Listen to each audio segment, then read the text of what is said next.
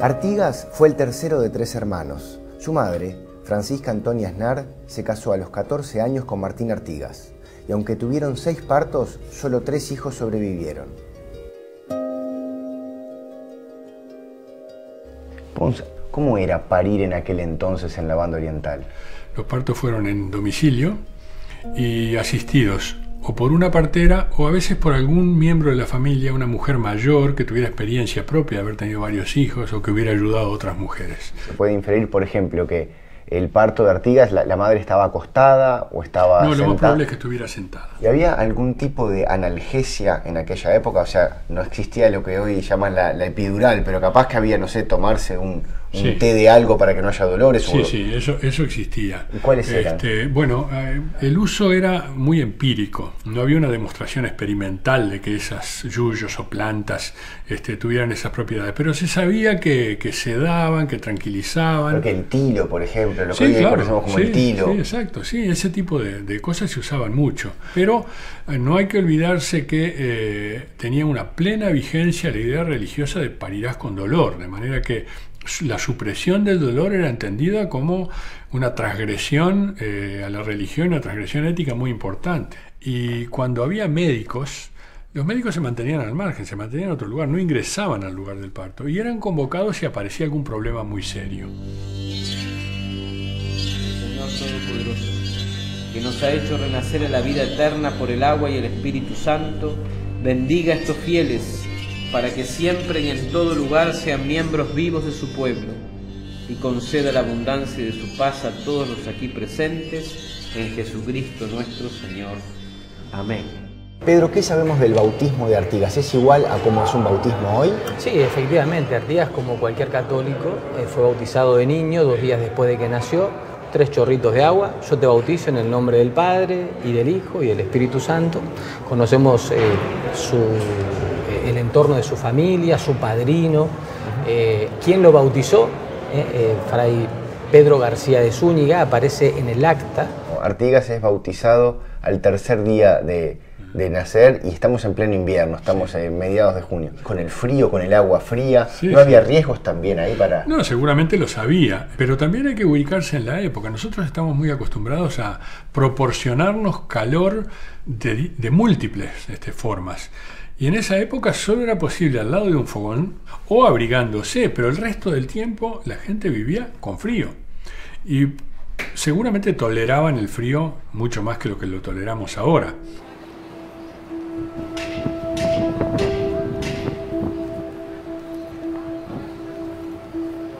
Ana, ¿qué sabemos de los padres de Artigas?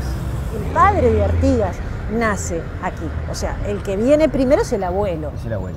que van primero a Buenos Aires, la ciudad mayor, y de allí vienen cuando el proceso colonizador, son de las familias fundacionales, de las primeras este, que llegan.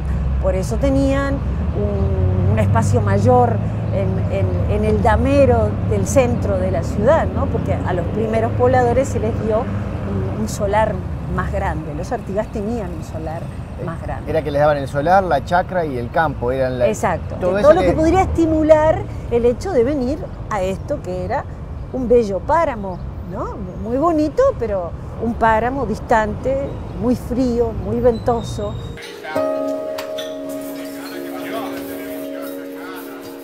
Marcia, ¿qué sabemos de la madre de Artigas? De la madre de Ortigas casi nada.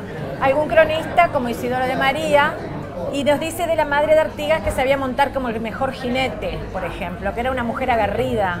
Es decir, la madre de Artigas ejerció el mando como lo ejercían todas las mujeres de su condición social, ¿Qué era? que era eh, ser un poco las administradoras de todo el patrimonio familiar. Porque los hombres, sobre todo los hombres de oficio de cabildante y de miliciano, como eran los Artigas, no estaban en Montevideo, estaban siempre cumpliendo sus funciones.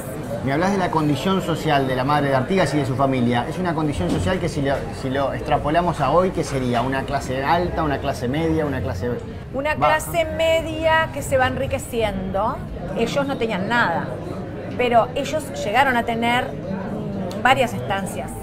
A los nueve años, Artigas ingresó en el Colegio de los Padres Franciscanos.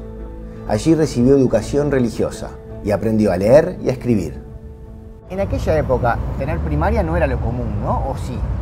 Para la gente de ese núcleo muy acotado, la ciudad vieja, era lo frecuente. Obviamente no es el plan de estudios de ahora. ¿Qué se aprendía ahí? ¿Qué religión, letras, ciencia? Sí, religión siempre, ¿no? La famosa trivia, gramática, este, matemáticas y, y sobre todo mucho precepto moral vinculado con la enseñanza religiosa. El colegio estaba al lado de su casa, en la ciudad vieja, estaba el colegio de los padres franciscanos, el convento San Bernardino de Montevideo, y los sacerdotes franciscanos que formaron Artigas fueron los que le dieron como esa, esa claridad en su pensamiento intelectual que después se va a ver reflejado años después. Federico, ¿a qué jugaban los niños en estas tierras hace 250 años? Un poco lo que hay que entender ahí es el, quiénes eran los primeros pobladores de Montevideo. Como eran básicamente de Buenos Aires, que venían de las Islas Canarias, los juegos que se jugaban seguramente en la banda oriental eran de las Islas Canarias. ¿Y cuáles eran esos juegos? Bolos, juegos de bochas, estaba el juego de las aucas o de las estampitas, que era para los niños era coleccionable porque eran las, las estampitas de los santos con la que los curas invitaban a ir a misa o a catequesis. Después había montones de juegos que eran eh, como de roles o que uno puede suponer que como había reyes en España, que dependíamos de los reyes, había indígenas en la banda oriental, había gauchos de alguna forma, los niños podrían interpretar esos roles y jugar a eso. Yo hago de rey, vos sos de indio, vos me atacás el fuerte, cosas por el estilo. ¿Y se podría pensar alguno de estos juegos que haya jugado Artigas? Sí, eh, en el plano de la suposición podría haber jugado los trompos, haber jugado el valero. Y un valero, digamos un valero de hace 250 años, porque veo que tenés distinto, este, este, este es distinto de este, Son diferentes eh, sí, maderas. este también es... Los ah, típicos eran estos. Digamos que él debería haber jugado a este. Voy a probar uno igual. Desde muy joven, Artigas se define como un hombre de campo. Abandona Montevideo y se va a la estancia de sus abuelos en el Sauce. Desde ahí cruzará el Río Negro y llegará al norte de la banda oriental.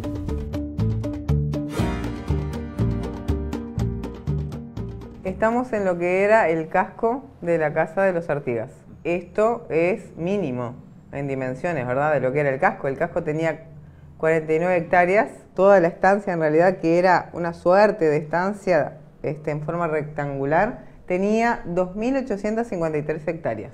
Era un destino natural el irse desde muy joven, más o menos 14 años, era la edad en que se casaba la mujer y en que el varón se establecía. Fue destinado a las faenas rurales por su familia, por decisión familiar, y era muy bien visto además que se tomara esa decisión.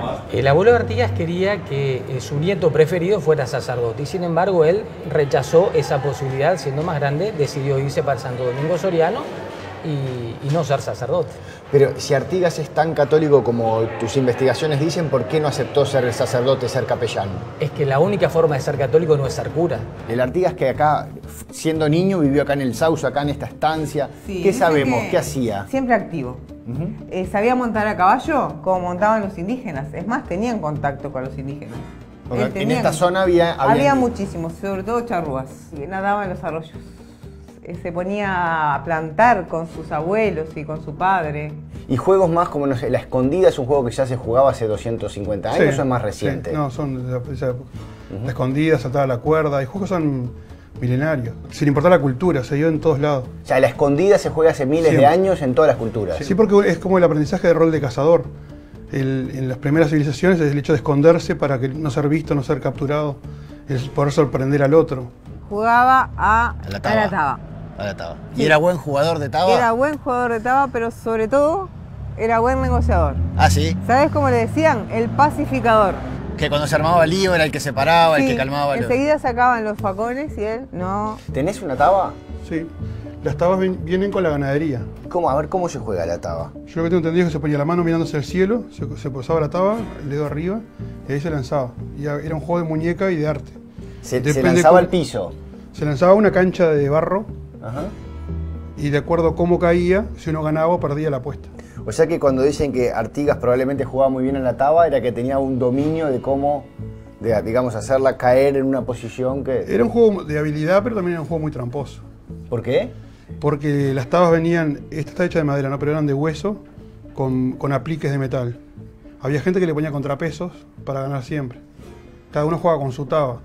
Si descubrían que estaba la taba arreglada, se, se mataban de una. O sea, el hacer trampa era, era como una ofensa. Y se batían a duelo. ¿Sí? Entonces él se va a una campaña la cual alterna mucho con los hombres sueltos de la campaña, lo que luego se generalizará con la voz de gaucho, termina en, en un grupo en el cual la actividad económica básica es el contrabando. ¿Y la familia cómo recibió ese Artigas que se va, que empieza a ser contrabandista, que se mezcla con los indios? ¿Estaba preocupada? Imagino que sí. Y bueno, luego se les convierte en un soldado, hay una diferencia grande. Y un soldado que siempre se sintió soldado.